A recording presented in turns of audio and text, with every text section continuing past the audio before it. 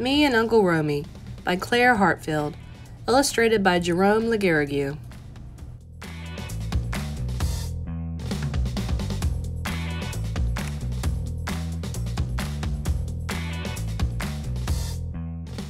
James waits nervously on a passenger train bound for New York City to visit his Aunt Nanette and Uncle Romie. He's never met them before, and he's a little concerned. James has left behind his home in North Carolina, and though he misses his friend BJ, his dad, and his mom, who will soon have twin babies, James hopes he will have fun on this summer vacation, especially since his birthday is coming up. Then I saw it New York City buildings stretching up to the sky, so close together, not like North Carolina at all. Penn Station, watch your step, the conductor said, helping me down to the platform. I did like Daddy said and found a spot for myself close to the train. Swarms of people rushed by. Soon I heard a silvery voice call my name. This had to be Aunt Nanette. I turned and saw her big smile reaching out to welcome me. She took my hand and guided me through the rushing crowds onto an underground train called the subway. This will take us right home, she explained.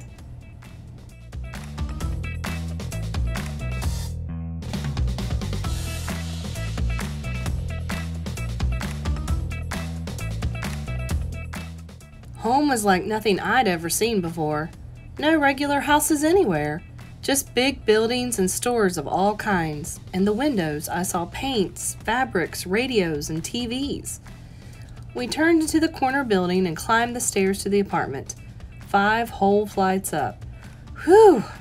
I tried to catch my breath while Aunt Nanette flicked on the lights. Uncle Romie's out talking to some people about his big art show that's coming up.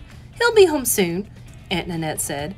She set some milk and a plate of cookies for me on the table. Your uncle's working very hard, so we won't see much of him for a while. His workroom, we call it his studio, is in the front of our apartment. That's where he keeps all the things he needs to make his art. Doesn't he just paint? I asked. Uncle Romie is a collage artist, Aunt Nanette explained. He uses paints, yes, but also photographs, newspapers, cloth. Cuts and pastes them onto a board to make his paintings. That sounds kind of easy, I said. Aunt Nanette laughed. Well, there's a little more to it than that, James. When you see the paintings, you'll understand. Come, let's get you to bed. Lying in the dark, I heard heavy footsteps in the hall. A giant stared at me from the doorway. Hello there, James. Uncle Romie's voice was deep and loud, like thunder. Thanks for the pepper jelly, he boomed. You have a good sleep now. Then he disappeared down the hall. The next morning, the door to Uncle Romie's studio was closed, but Aunt Nanette had plans for both of us. Today, we're going to a neighborhood called Harlem, she said. It's where Uncle Romie lived as a boy. Harlem was full of people walking, working, shopping, eating. Some were watching the goings on from fire escapes. Others were sitting out on stoops greeting folks who passed by, just like the people back home calling out hellos from their front porches. Most everybody seemed to know Aunt Nanette. A lot of them asked after Uncle Romie, too. We bought peaches at the market, then stopped to visit a while. I watched some kids play stickball. Go on, get in that game, Aunt Nanette said, gently pushing me over to join them. When I was all hot and sweaty, we cooled off with double chocolate scoops from the ice cream man. Later, we shared some barbecue on a rooftop way up high. I felt like I was on top of the world. As the days went by, Aunt Nanette took me all over the city.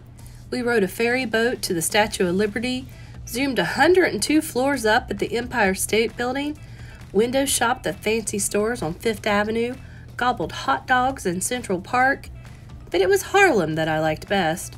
I played stickball with the kids again, and on a really hot day, a whole bunch of us ran through the icy cold water that sprayed out hard from the fire hydrant. In the evenings, Aunt Nanette and I sat outside listening to the street musicians playing their saxophone songs. On rainy days, I wrote postcards and helped out around the apartment. I told Aunt Nanette about the things I like to do back home about baseball games, train watching, my birthday. She told me about the special Caribbean lemon and mango cake she was going to make.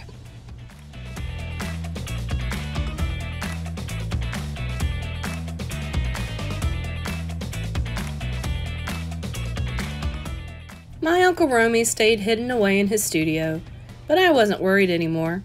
Aunt Nanette would make my birthday special. Four, three, two, one. My birthday was almost here. And then Aunt Nanette got a phone call. An old aunt has died, James. I have to go away for her funeral. But don't you worry.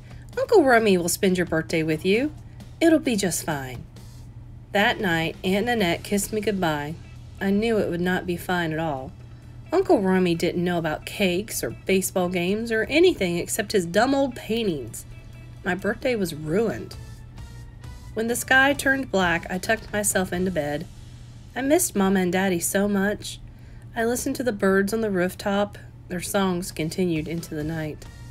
The next morning, everything was quiet. I crept out of bed and into the hall. For the first time, the door to Uncle Romie's studio stood wide open.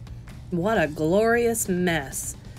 There were paints and scraps all over the floor, and around the edges were huge paintings with all sorts of pieces pasted together. I saw saxophones, birds, fire escapes, and brown faces. It's Harlem, I thought. The people, the music, the rooftops, and the stoops. Looking at Uncle Romie's paintings, I could feel Harlem, its beat and bounce.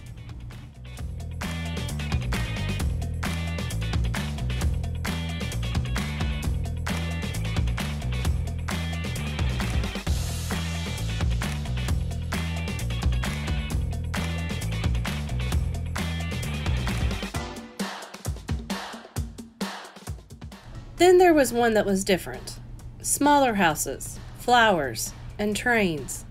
That's home! I shouted. Yep, Uncle Romie said, smiling from the doorway. That's the Carolina I remember. Mama says you visited your grandparents there most every summer when you were a kid, I said. I sure did, James. Mm. Now that's the place for pepper jelly, smeared thick on biscuits. And when Grandma wasn't looking, I'd sneak someone a spoon. Daddy and I do that too, I told him. We laughed together, then walked to the kitchen for a breakfast feast eggs, bacon, grits, and biscuits. James, you've got me remembering the pepper jelly lady. People used to line up down the block to buy her preserves. Could you put someone like that in one of your paintings? I asked. I guess I could, Uncle Romie nodded. Yes, that's a memory just right for sharing. What a good idea, James. Now let's get this birthday going. He brought out two presents from home. I tore into the packages while he got down the pepper jelly and two huge spoons. Mama and Daddy had picked out just what I wanted a special case for my baseball cards and a model train for me to build. Pretty cool, said Uncle Romie. I used to watch the trains down in North Carolina, you know. How funny to picture big Uncle Romie lying on his belly. BJ and me, we have contests to see who can hear the trains first. Hey, I did that too. You know, it's a funny thing, James. People live in all sorts of different places and families, but the things we care about are pretty much the same like favorite foods, special songs, games, stories, and like birthdays. Uncle Romie held up two tickets to a baseball game. It turns out Uncle Romie knows all about baseball. He was even a star pitcher in college. We got our mitts and set off for the game. Way up in the bleachers, we shared a bag of peanuts, cracking the shells with our teeth and keeping our mitts ready in case a home run ball came our way. That didn't happen, but we sure had fun.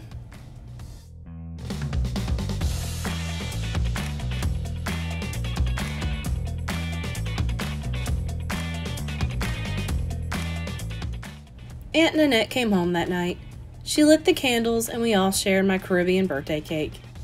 After that, Uncle Romie had to work a lot again, but at the end of each day he let me sit with him in his studio and talk. Daddy was right. Uncle Romie is a good man. The day of the big art show finally came. I watched the people laughing and talking, walking slowly around the room from painting to painting. I walked around myself, listening to their conversations. Remember our first train ride from Chicago to New York? One lady asked her husband. That guitar playing man reminds me of my Uncle Joe, said another. All these strangers talking to each other about their families and friends and special times, and all because of how my Uncle Romie's paintings reminded them of these things.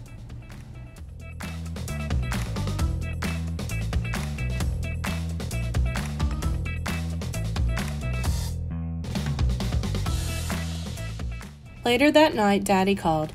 I had a brand new brother and sister. Daddy said they were both bald and made a lot of noise, but he sounded happy and said how they all missed me. This time, Aunt Nanette and Uncle Romie took me to the train station. Here's a late birthday present for you, James, Uncle Romie said, holding out a package. Open it on the train, why don't you? It'll help pass the time on the long ride home.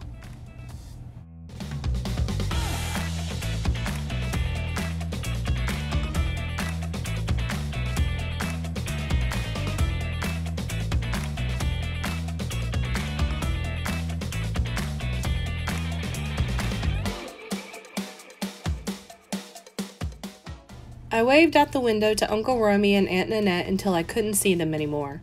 Then I ripped off the wrappings. And there was my summer in New York. Bright sky in one corner, city lights at night in another. Tall buildings, baseball ticket stubs, the label from the pepper jelly jar, and trains, one going toward the skyscrapers, another going away. Back home, I lay in the soft North Carolina grass. It was the 1st of September, almost Uncle Romie's birthday. I watched the birds streak across the sky. Rooftop birds, I thought. Back home from their summer in New York, just like me. Watching them, I could still feel the city's beat inside my head. A feather drifted down from the sky. In the garden, tiger lilies bent in the wind, Uncle Romie's favorite flowers. I yanked off a few blossoms and then I was off on a treasure hunt, collecting things that reminded me of Uncle Romie. I painted and pasted them together on a big piece of cardboard. Right in the middle, I put the train schedule, and at the top, I wrote, Happy Birthday, Uncle Romie.